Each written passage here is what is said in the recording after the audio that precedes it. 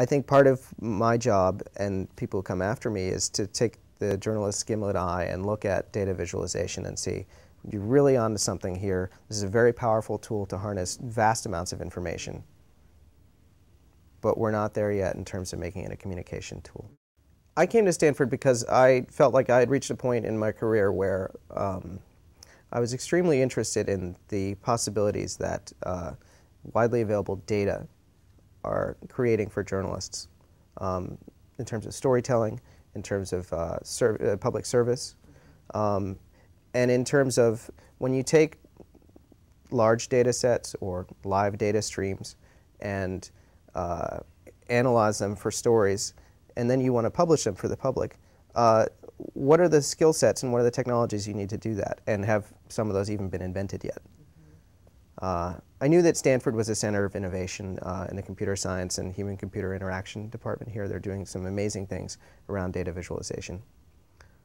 In essence, data visualization is really, really hot right now. Mm -hmm. And um, it's something that is uh, entering journalism from the outside because it's largely been driven by academic research um, and, uh, you know, industrial R&D, software companies, artists.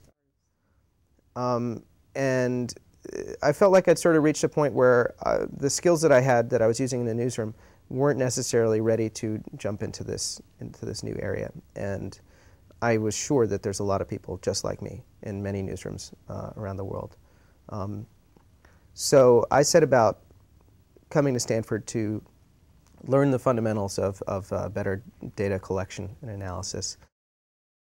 The idea I had was that I wanted to, to create a kind of a toolkit or a guide for journalists as to, to what, um, what tools are out there that are available right now. And so um, I felt like if I just put in a bunch of instructions or lists of things, there's already a lot of those. Mm -hmm. And so I felt like this was a year where I'd really have the time to go and meet the people who are really pushing this field forward and see where they're coming from.